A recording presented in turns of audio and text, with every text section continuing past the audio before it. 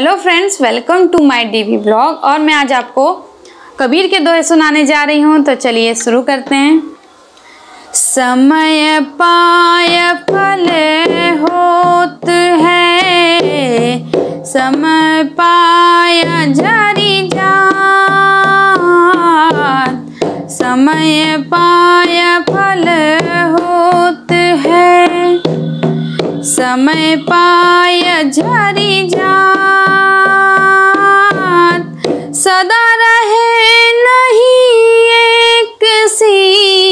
का रहीम पछितात कबीरा। का रहीम पछितात। तो इसका अर्थ है, समय आने पर वृक्ष में फल लगता है। झड़ने का समय आने पर वह झड़ जाता है। सदा किसी भी अवस्था एक जैसी नहीं रहती, इसलिए दुख के समय पछताना व्यर्थ है। कबीर जी कहते हैं कि समय आते ही फलों में पेड़ लगने लगते हैं, समय आते ही पेड़ या झड़ने लगते हैं। उसी तरह दुख के समय हमें पछताना नहीं चाहिए, समय आते ही हमें हमारा भी अच्छा होगा, हमें पछताना नहीं चाहिए। तो समय अच्छा होगा तो हमारे साथ भी अच्छा होगा, लेकिन आपको मेहनत करते रहना है। आप बैठ जाएँगे, हाथ बंद करके और बोलेंगे कि समय जिस दिन आएगा, उस दिन मेरा अच्छा होगा तो ये गलत है। ठीक है तो यही कबीर जी कहते हैं कि समय आते ही फलों में वृक्ष में पेड़ लग, वृक्ष में फल लगता है। समय आते ही वृक्ष झड़ने लगते हैं, वृक्ष से पत्ते झड़ने लगते हैं। उसी तरह सदा किसी भी अवस्था में एक, सभी के लिए एक जैसी अवस्था नहीं होती है। इसलिए दुख के समय पछताना व्यर्थ है। ठीक है तो चलिए आगे देखते हैं। माटी कहे कुम्हार से, तू क्यों रोंदे मोय माटी कहे कुमार से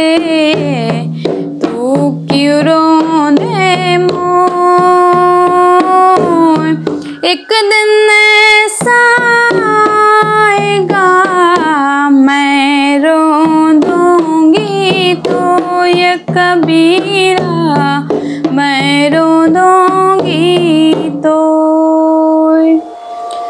इसका अर्थ है, कबीर जी कहते हैं, मिट्टी कुमार से कहती है कि आज तो तू मुझे पैरों के नीचे रोंद रहा है।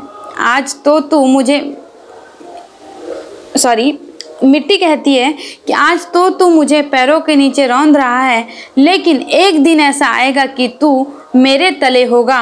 अर्थात जीवन में मनुष्य चाहे जितना भी शक्तिशाली हो, मृत्यु के बाद उसका शरीर मिट्टी में मिट्टी हो जाता है। ठीक है तो हम जानते हैं हम शक्तिशाली है पावर है अपने आप में घमंड नहीं करना चाहिए, क्योंकि सबका एक दिन यही है, सभी को मिट्टी में मिलना है तो कबीर जी यही कहते हैं कि सभी को अच्छे से बिहेव रखना चाहिए, सभी अच्छे से मिलजुल कर रहना चाहिए, अपने ऊपर घमंड नहीं रखना चाहिए, क्योंकि सभी को एक दिन मिट्टी में मिल जाना है। और मिट्टी कुमार से कहती कि, आज तो तुम मुझे पैरों के नीचे रोंद रहा है, लेकिन एक दिन ऐसा आएगा तुम मेरे तले होगा, अर्थात जीवन में मनुष्य चाहे जितना भी शक्तिशाली हो, मृत्यु के बाद उसका शरीर मृत्यु सॉरी मिट्टी हो जाता है। तो चलिए, आज के लिए इतना ही। मेरे चैनल को शेयर कीजिए लाइक कीजिए सब्सक्राइब कीजिए। और मैं आपको मीनिंग के साथ इसलिए बता रही हूँ क्योंकि ये जो माटी का है, कुमार से गुरु, ब्रह्मा, गुरु, विष्णु कुछ कुछ दोहे हैं जो बहुत अच्छे हैं। और हम स्कूल में जब होते हैं तो ये दोहे पढ़ते हैं और इसकी मीनिंग उस समय हमें समझ में आती है और नहीं भी आती है तो उतना हम मीनिंग नहीं समझ पाते हैं, लेकिन इसकी मीनिंग बहुत अच्छी है। तो आप प्लीज़ देखिए और मेरे चैनल को सब्सक्राइब कीजिए। Thank you